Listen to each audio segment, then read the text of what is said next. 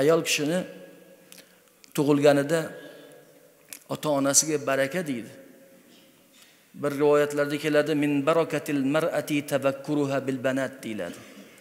Ko'p farzandingiz qiz bo'lishi birinchi farzandingiz qiz tug'ilishi ayolingizning barakali ekanligidan dalolatdir deganlar payg'ambarimiz sollallohu alayhi vasallam.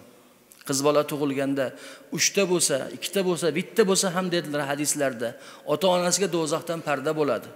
Qizlarni munosib tarbiyalab turmushga chiqarsa uchta qiz ikkita qiz bitta qiz ota onasiga do'zaxdan parda bo'ladi. Qiz bola ekan otasining himoyasida bo'ladi otasining ta'minotida bo'ladi.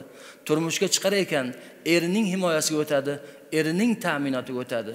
Ona bo'lar ekan shunday bir sharaf topadiki hech qachon u sharafdan keyin tushib qolmaydi uning oyoqlarini ostiga jannatlar to'shaladi. Va vafot qilar ekan ayol kishi. Rasuli akram sallallohu alayhi vasallam hech kimga berilmagan imkoniyatlarni ularga xabarini berganlar. Erini rozi qilgan namozini o'qigan ro'zasini tutgan haromdan o'zini saqlagan ayol dedilar. Jannatning xohlagan eshigidan kirish ixtiyoriga ega bo'ladi deganlar. Bu ixtiyor ikki toifada bo'ladi faqat. Payg'ambarlarda bo'ladi va shunaqa sifatdagi ayollarda bo'ladi.